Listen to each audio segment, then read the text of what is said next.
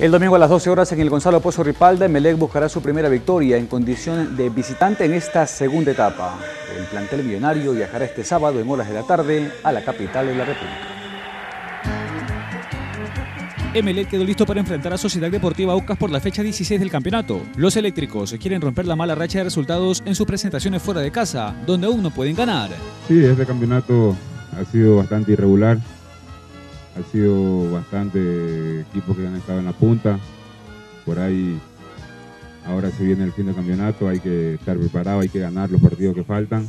Los tres puntos en juego son importantes para seguir en la lucha por ganar la etapa. Dios quiera llegar a, a, a campeonar, que, que, es lo que más queremos. Acá tenemos un grupo unido, que estamos unidos, sabemos el partido que se viene, sabemos todo lo, lo que vamos a jugar y nada, ese partido y Dios quiera ganemos. El posible 11 de Melec es Condrer en el arco, Caicedo, Mejía, Vega y Johnson en defensa, Arroyo, Queiroz, Rojas y Orejuela en el medio campo, y en ofensiva López Pisano junto a Brian Angulo.